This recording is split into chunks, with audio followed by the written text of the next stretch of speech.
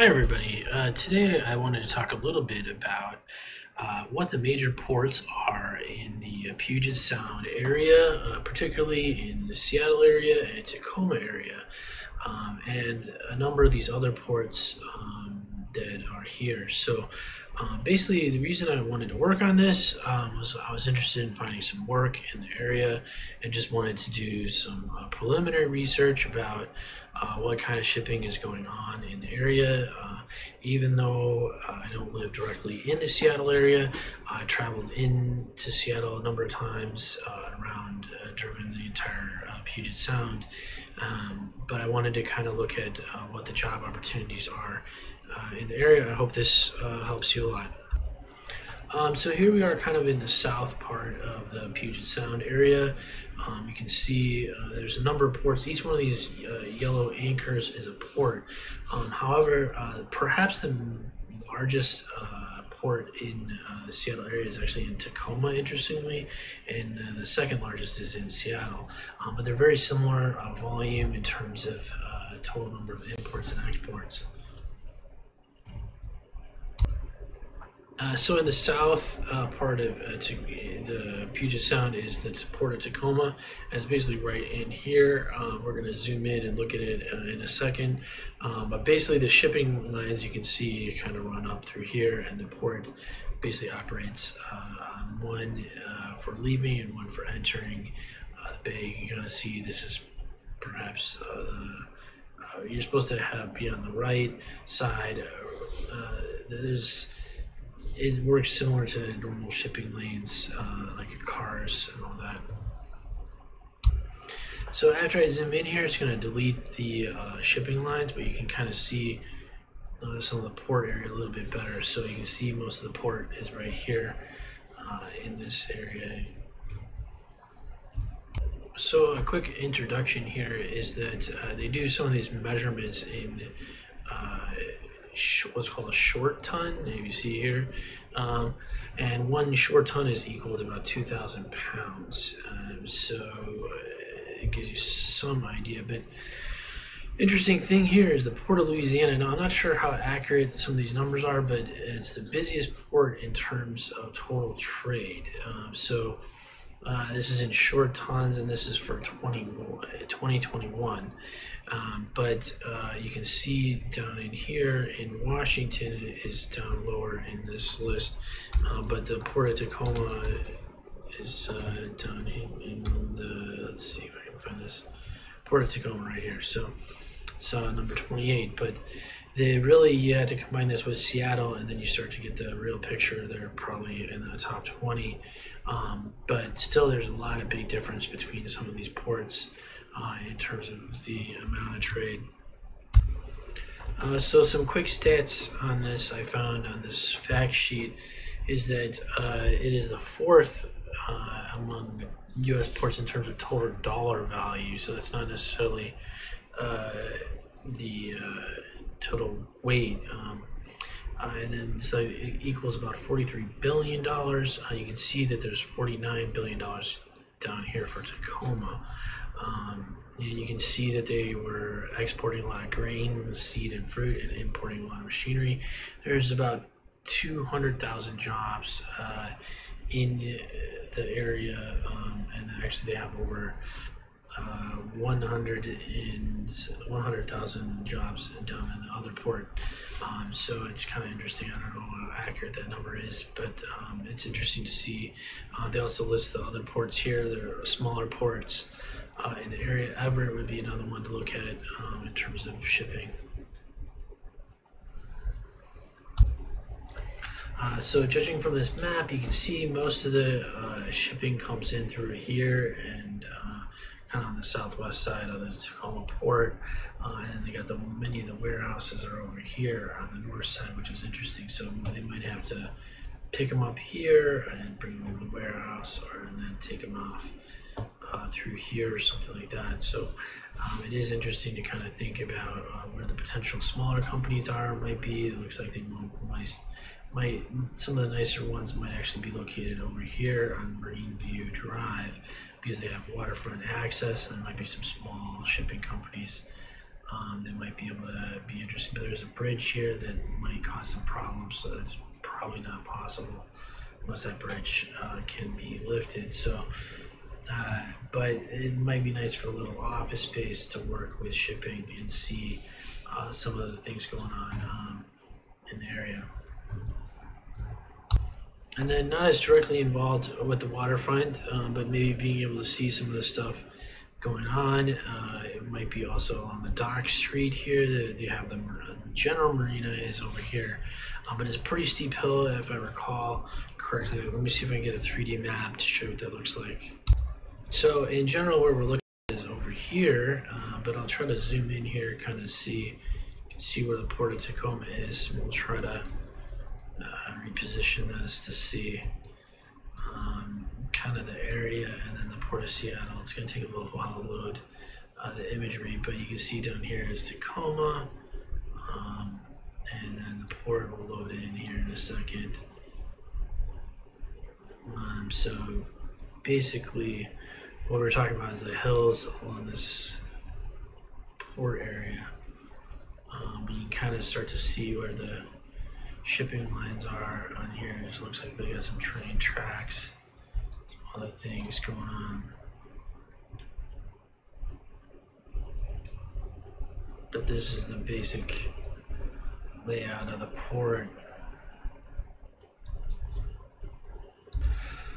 Uh, so here we're looking at the Port of Seattle. Um, so if you zoom out here, you can kind of see we are just over here uh, in Tacoma.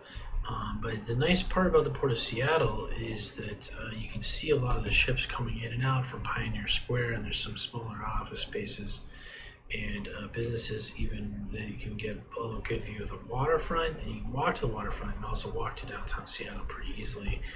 Um, it's also part of Chinatown in here, so there's some nice uh, places uh, to live and work. Um, so it makes Port of Seattle pretty desirable uh, in terms of uh, things. So you can get to the port, um, you can even almost walk to the port uh, right in here. So uh, it's just interesting to consider that as a factor.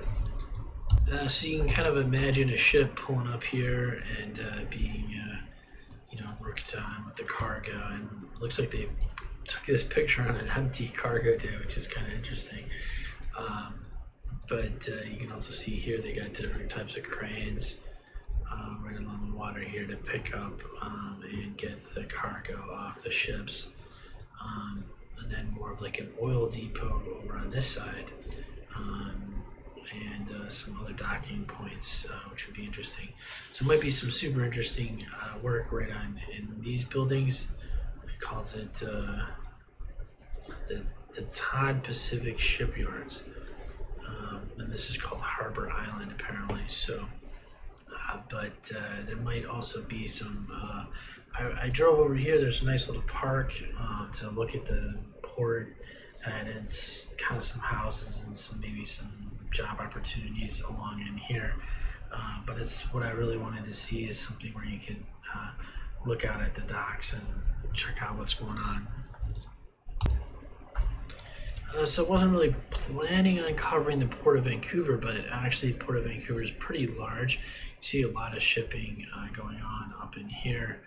Um, and in fact, uh, I'm not even sure what the ratio is. Uh, between it and Tacoma, but it might be uh, comparable. Um, and there's also Everett up here. Um, where is it? Everett's right in here. Um, that's a pretty interesting port um, for an opportunity, um, just for Port Angeles for doing some shipping uh, that might be uh, more affordable. Um, and actually, if you look at the waterfront over here, there's more waterfront kind of right on here, so you can see Port of Everett's right here, so you kind of have a nice waterfront view of the ships coming in, um, which makes it pretty interesting as a port uh, overall. So you can kind of see, uh, just zoom in here, you can kind of see how this all works.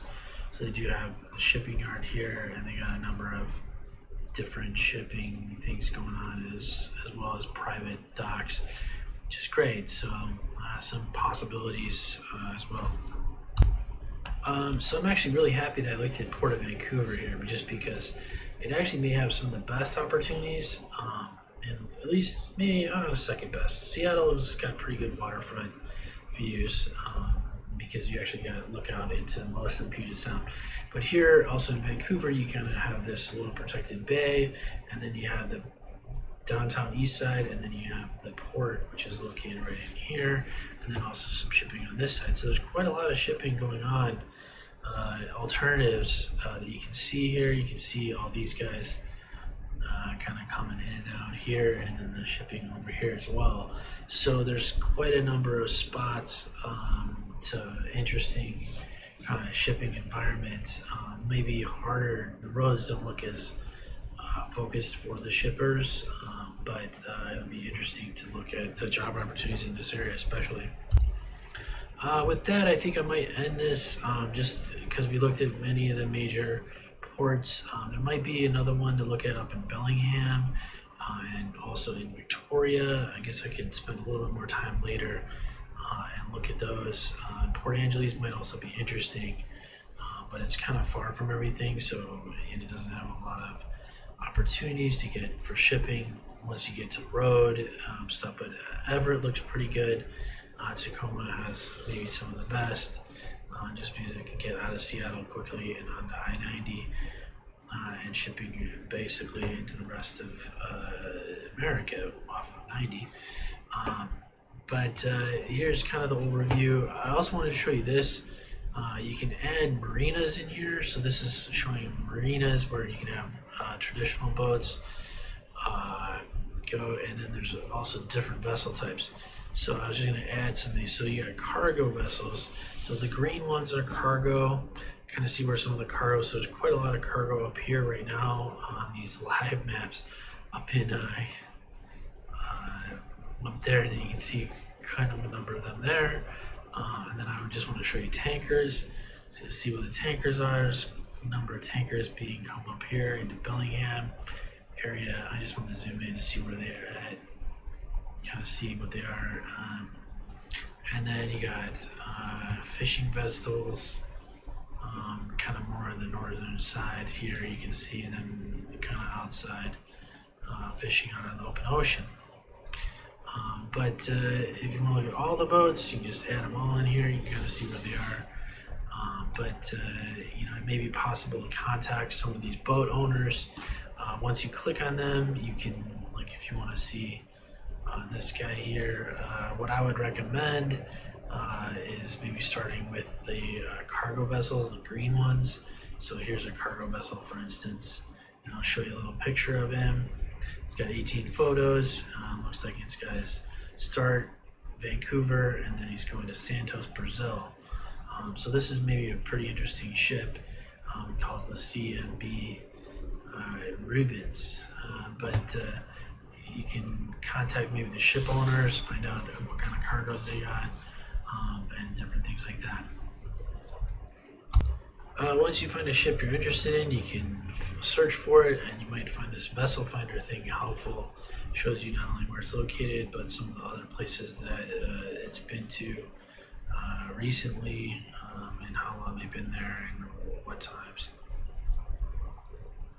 Another interesting point that I would say is that near some of these islands, uh, sometimes you'll have smaller ships uh, that have, uh, like for example, here's a little guy. Uh, it's not such a little guy, but uh, sometimes you'll have uh, certain ones. I'm just looking for a smaller one here that is actually trying to ship something, you know, just locally to one of the islands. Maybe we'd have to look down here in Victoria, but little cargo guys uh, going in between these, you might want to look and check at a smaller port um, and just contact them and find out, uh, you know, essentially what they're trying to ship.